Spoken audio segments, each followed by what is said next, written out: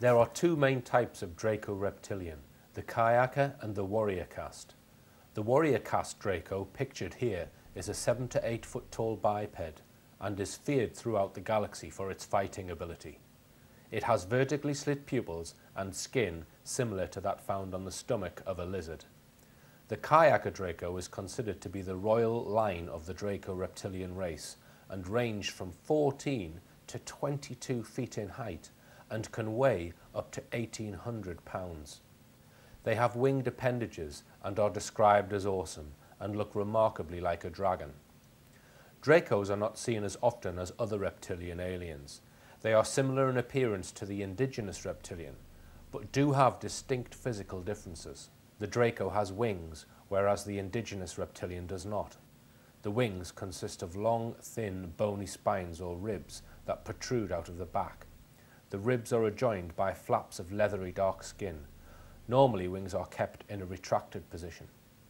Another physical difference to the indigenous reptilian is that some Dracos have horns. They are located and develop midway between the brow and the top of the skull. Horns are conical in shape and have blunt tips. The Draco reptilian has a much more athletic build than other reptilian beings. Their upper torsos are extremely lean and their neck muscles splay out from the base of their jaw to their shoulder blades.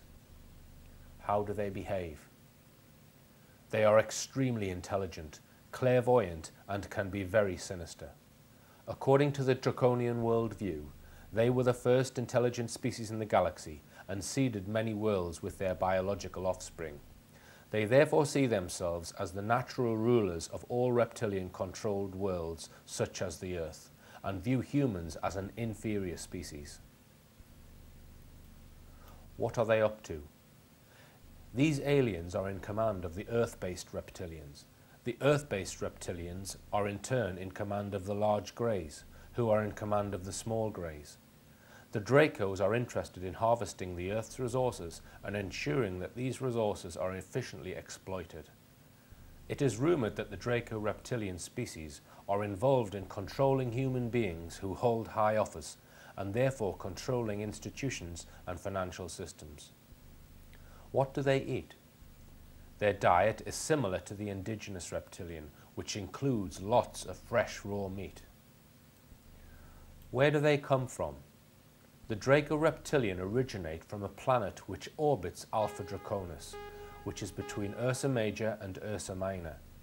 It is viewable in the northern evening sky between north and northwest and is 215 light years from Earth. Would you invite one to meet your mother?